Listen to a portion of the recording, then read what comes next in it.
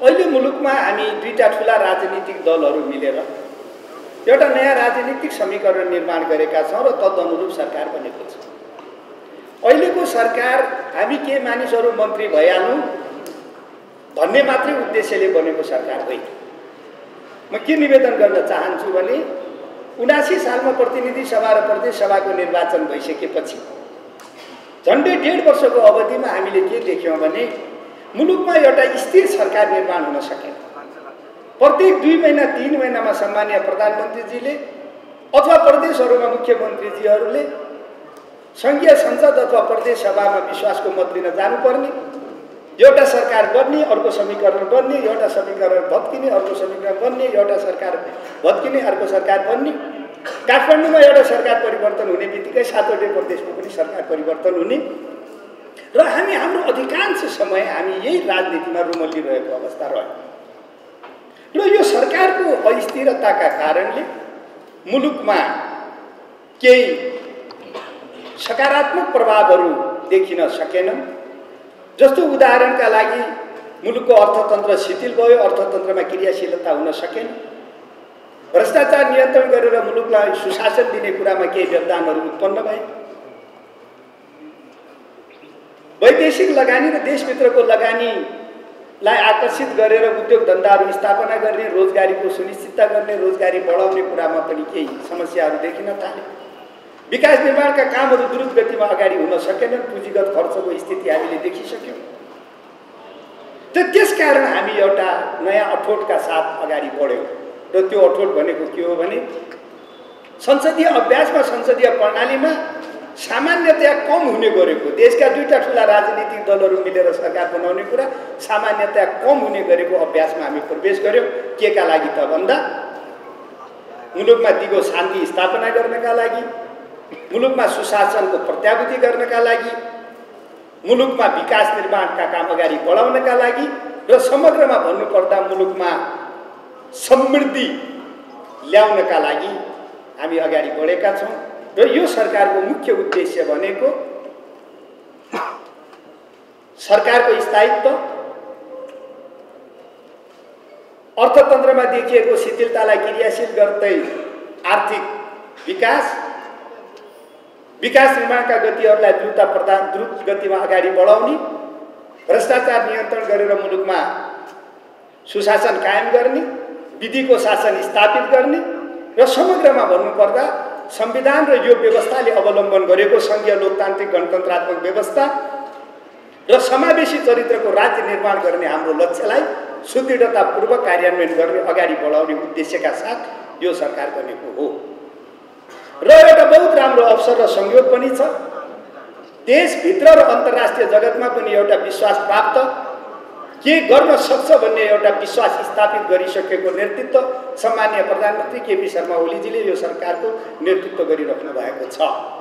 त्यसो भएको हुनाले यो सरकारको निरन्तरता र दुईवटा राजनीतिक दलहरूका बिचमा भएको राजनीति सहमति अनुसार राजनीतिक गतिलाई निष्कर्षमा पुर्याउने हाम्रो अठोट छ हाम्रो प्रतिबद्धता छ। र त्यही ढङ्गले हामी मुलुकमा दिगो शान्ति सुशासन विकास र समृद्धिको लक्ष्यसम्म देशलाई पुर्याउनका लागि हामी त्यही ढङ्गले अगाडि बढ्छौँ र हाम्रा सहमति अनुसार हामी निष्कर्षमा पुग्छौँ। मैले यति यसका निवेदन गरिराखेका छु कि फेरि मैले प्रारम्भमा निवेदन गरेको एउटा विषय जोड्न चाहन्छु।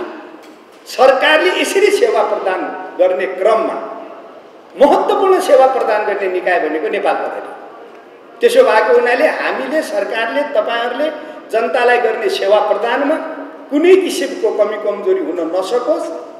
जनताले विधिको शासन लोकतन्त्रको अनुभूति सुरक्षाको अनुभूति शान्ति सुव्यवस्थाको अनुभूति र ठिक ढङ्गले व्यवस्थित ढङ्गले सबै कुराहरू अगाडि बढिराखेको अवस्थाको सुनिश्चितता दिनुपर्ने निकायमध्येको महत्त्वपूर्ण निकाय प्रहरी प्रशासन भएको हुनाले मैले प्रहरी प्रशासनको यो कार्यक्रममा राजनीतिलाई यसकारण जोड्न सके चाहे कि हाम्रा उद्देश्य यी हो। र यो उद्देश्य अनुरूप तपाईँहरू काम गर्नुहुनेछ भन्ने कुरामा म आग्रह गर्न चाहन्छु। दुईवटा दलहरू मिल्दा के हुँदो रहेछ? आत्मविश्वास बढ्दो रहेछ। आत्मविश्वास बढेको एउटा पछिल्लो उदाहरण मैले देखेको छु सामान्य प्रधानमन्त्रीजी पनि हुनुहुन्छ यहाँ उहाँको पहलमा प्रयत्नमा अठार वर्षसम्म हामीले निष्कर्षमा पुर्याउन नसकेको शान्ति प्रक्रियाका बाँकी रहेका कामहरू सङ्क्रमणकालीन न्याय सम्बन्धी कामहरू हामीले सरकार गठन भएको एक वर्षमा निष्कर्षमा पुर्यायो। केले नेता हुँदै हुन् मान्छे हामी हौँ छलफल गरिरहेका पनि हामी थियौँ कुराकानी उही भइरहेका थिए उनी मान्छेहरूका बिचमा भइरहेका थिए त यो के भयो? के भयो त भन्दा यो त आत्मबल वृद्धि। एउटा के गर्न सकिन्छ भन्ने सुनिश्चितता देखि। त्यो कन्फिडेन्सले हामीले एउटा कुरा पुरा गर्यौँ हामीले धेरै गरी आएको कुरा सकिसक्यो अब गर्न बाँकी केही रहेन भन्ने होइन। तर एउटा उदाहरण एउटा नमुना मात्रै मैले आग्रह गर्न खोजेको। त्यस कारण जसरी इतिहासमा हिजो हामी दुईवटा ठुला दल मिल्दा हामीले यो देशमा बौद्धलीय व्यवस्थाको स्थापना गऱ्यौँ हामीले दस वर्षको सशस्त्र द्वन्द्वलाई शान्तिमा रूपान्तरण गऱ्यौँ शान्ति प्रक्रिया आफ्नै आन्तरिक चाहिँ त रूपले नै हामीले पुरा गऱ्यौँ अन्तरिम संविधान बनायौँ अहिलेको संविधान बनायौँ। र हामी मुलुकलाई अगाडि लिएर जाने क्रममा अगाडि बढिराखेका छौँ। त्यसरी नै हामी दुईवटा मिलेर एउटा आत्मविश्वास वृद्धि भएको छ।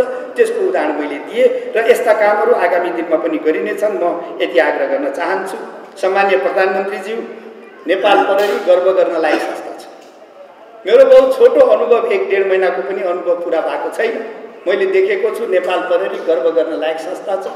यो देशको ऐतिहासिक संस्था हो। मुलुकमा अमन चयन कायम गर्न शान्ति सुरक्षा स्थापना गर्न नागरिकको जीवधनको सुरक्षा गर्न विधिको शासन स्थापित गर्न अपराध नियन्त्रण गर्न ऐतिहासिक कामहरू नेपाल प्रहरीले गरेको छ। म यति आग्रह गर्दै के निवेदन गर्न चाहन्छु भने अत्यन्त सीमित स्रोत र साधनमा असीमितै भन्दा पनि हुने काम गर्नु परिराखेको छ देशभरिबाट सेवा विस्तारका लागि अस्थायी प्रहरी चौकी स्थापना गरिदेऊ अस्थायी प्रहरीलाई स्थायी बनाइदेऊ स्थायी प्रहरीलाई स्तर वृद्धि गरिदेऊ इलाका प्रशासन कार्यालय स्थापना गरिदेऊ भनेर झन्डै पाँच सयवटा जति मागहरू आउँदो रहेछन् सतहत्तर जिल्लाबाट। हामीले गर्न सक्ने पाँचवटा पनि छैन जस्तो लागेको छ त्यस कारण अत्यन्त सीमित साधन। यही पनि यो भवन अहिले बनिएको छ। योभन्दा पहिला हामी झन्डै असी वर्ष त हामी कस्तोमा बसेर काम गऱ्यौँ त। नेपाल प्रहरीले गर्यो त। त्यसो भएको हुनाले यतातिर म गम्भीर रूपले सामान्य प्रधानमन्त्रीजीको ध्यान आकर्षण गर्न चाहन्छु। हामीले यो सय दिनमा के दसवटा महत्त्वपूर्ण कामहरू गर्ने गरे अठोट गरेका छौँ। नेपाल प्रहरी सम्बन्धी ऐन हाम्रो मन्त्रालयबाट पास भएर अर्थ मन्त्रालयमा पुगिसकेका स्थिति छ। त्यसलाई चाँडोभन्दा चाँडो सदनमा पुर्याउनु छ।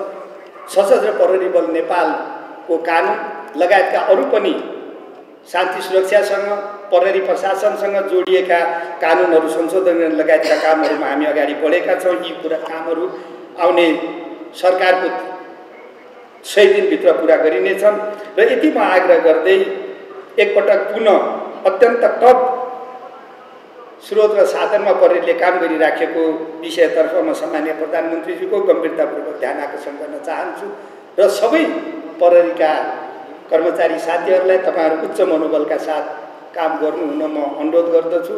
जनताका मुद्दा बोक्नु पऱ्यो जनतालाई सेवा दिनु पऱ्यो जनताको मुद्दा टेबलको त्यो कुनामा राखेर आफ्नो मात्रै मुद्दा बोकेर हिँड्नु भयो। त्यसकारण आफ्नो मुद्दाभन्दा जनताका मुद्दा प्राथमिक हुन्। त्यसकारण जनताको मुद्दा बोकेको छ भने आफ्नो मुद्दा पनि बोकिन्छ। त्यो पनि सरकारले ध्यान दिन्छ राज्यले दिन्छ। तर मेरो मात्रै मुद्दा छ जनताको मुद्दा छैन भन्ने सोचाइ राख्नुहुन्न भन्ने मात्रै मेरो सानो आग्रह छ साथीहरूलाई र राम्रोसँग साथीहरूले काम गर्नुहुनेछ।